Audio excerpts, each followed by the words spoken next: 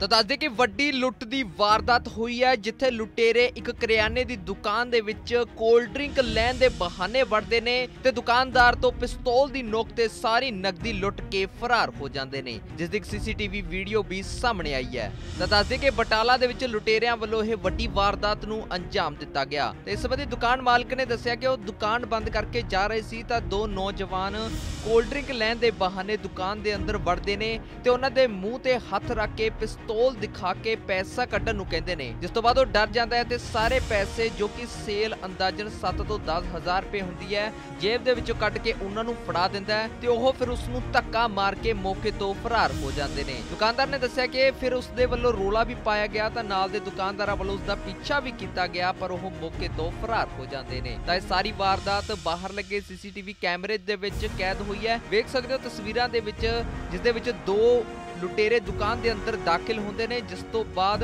ਇੱਕ ਹੋਰ ਲੁਟੇਰਾ ਜੋ ਬਾਈਕ ਤੇ ਬੈਠਾ ਹੁੰਦਾ, ਇਹਨਾਂ ਦਾ ਇੰਤਜ਼ਾਰ ਕਰ ਰਿਹਾ ਹੁੰਦਾ ਜਿਸ ਤੋਂ ਬਾਅਦ ਲੁੱਟ ਕਰਕੇ ਇਹ ਦੋਨੋਂ ਬਾਹਰ ਆਉਂਦੇ ਨੇ, ਤਾਂ ਬਾਈਕ ਤੇ ਬੈਠ ਕੇ ਮੌਕੇ ਤੋਂ ਫਰਾਰ ਹੋ ਜਾਂਦੇ ਨੇ।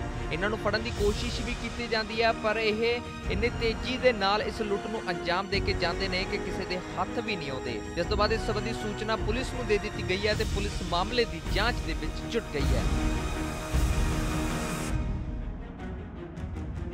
ਤਾਂ ਦੱਸਦੇ ਕਿ ਵੱਡੀ ਲੁੱਟ ਦੀ ਵਾਰਦਾਤ ਹੋਈ ਹੈ, ਜਿੱਥੇ ਲੁਟੇਰੇ ਇੱਕ ਕਰਿਆਨੇ ਦੀ ਦੁਕਾਨ ਦੇ ਵਿੱਚ ਕੋਲਡ ਡਰਿੰਕ ਲੈਣ ਦੇ ਬਹਾਨੇ ਵੜਦੇ ਨੇ ਤੇ ਦੁਕਾਨਦਾਰ ਤੋਂ ਪਿਸਤੌਲ ਦੀ ਨੋਕ ਤੇ ਸਾਰੀ ਨਕਦੀ ਲੁੱਟ ਕੇ ਫਰਾਰ ਹੋ ਜਾਂਦੇ ਨੇ। ਜਿਸ ਦੀ ਸੀਸੀਟੀਵੀ ਵੀਡੀਓ ਵੀ ਸਾਹਮਣੇ ਆਈ ਹੈ। ਤਾਂ ਦੱਸਦੇ ਕਿ ਬਟਾਲਾ ਦੇ ਵਿੱਚ ਲੁਟੇਰਿਆਂ ਵੱਲੋਂ ਇਹ ਵੱਡੀ ਵਾਰਦਾਤ ਨੂੰ ਅੰਜਾਮ ਦਿੱਤਾ ਗਿਆ। ਤੇ ਇਸ ਸੰਬੰਧੀ ਦੁਕਾਨ ਮਾਲਕ ਨੇ ਦੱਸਿਆ ਕਿ ਉਹ ਦੁਕਾਨ ਬੰਦ ਕਰਕੇ ਜਾ ਰਹੇ ਸੀ ਤਾਂ ਦੋ ਨੌਜਵਾਨ ਕੋਲਡ ਡਰਿੰਕ ਲੈਣ ਦੇ ਬਹਾਨੇ ਦੁਕਾਨ ਦੇ ਅੰਦਰ ਵੜਦੇ ਨੇ ਤੇ ਉਹਨਾਂ ਦੇ ਮੂੰਹ ਤੇ ਹੱਥ ਰੱਖ ਕੇ ਪਿਸਤੌਲ ਦਿਖਾ ਕੇ ਪੈਸਾ ਕੱਢਣ ਨੂੰ ਕਹਿੰਦੇ ਨੇ। ਜਿਸ ਤੋਂ ਬਾਅਦ ਉਹ ਡਰ ਜਾਂਦਾ ਹੈ ਤੇ ਸਾਰੇ ਪੈਸੇ ਜੋ ਕਿ ਸੇਲ ਅੰਦਾਜ਼ਨ 7 ਤੋਂ 10 ਰੁਪਏ ਹੁੰਦੀ ਹੈ, ਜੇਬ ਦੇ ਵਿੱਚੋਂ ਕੱਢ ਕੇ ਉਹਨਾਂ ਨੂੰ ਫੜਾ ਦਿੰਦਾ ਹੈ ਤੇ ਉਹ ਫਿਰ ਉਸ ਨੂੰ ਧੱਕਾ ਮਾਰ ਕੇ ਮੌਕੇ ਤੋਂ ਫਰਾਰ ਹੋ ਜਾਂਦੇ ਨੇ। ਦੁਕਾਨਦਾਰ ਨੇ ਦੱਸਿਆ ਕਿ ਫਿਰ ਉਸ ਦੇ ਵੱਲੋਂ ਰੋਲਾ ਵੀ ਪਾਇਆ ਗਿਆ ਤਾਂ ਨਾਲ ਦੇ ਦੁਕਾਨਦਾਰਾਂ ਵੱਲੋਂ ਉਸ ਦਾ ਪਿੱਛਾ ਵੀ ਕੀਤਾ ਗਿਆ, ਪਰ ਉਹ ਮੌਕੇ ਤੋਂ ਫਰਾਰ ਹੋ ਜਾਂਦੇ ਨੇ। ਤਾਂ ਇਹ ਸਾਰੀ ਵਾਰਦਾਤ ਬਾਹਰ ਲੱਗੇ ਸੀਸੀਟੀਵੀ ਕੈਮਰੇ ਦੇ ਵਿੱਚ ਕੈਦ ਹੋਈ ਹੈ। ਵੇਖ ਸਕਦੇ ਹੋ ਤਸਵੀਰਾਂ ਦੇ ਵਿੱਚ, ਜਿਸ ਦੇ ਵਿੱਚ ਦੋ ਲੁਟੇਰੇ ਦੁਕਾਨ ਦੇ ਅੰਦਰ ਦਾਖਲ ਹੁੰਦੇ ਨੇ। ਜਿਸ ਤੋਂ ਬਾਅਦ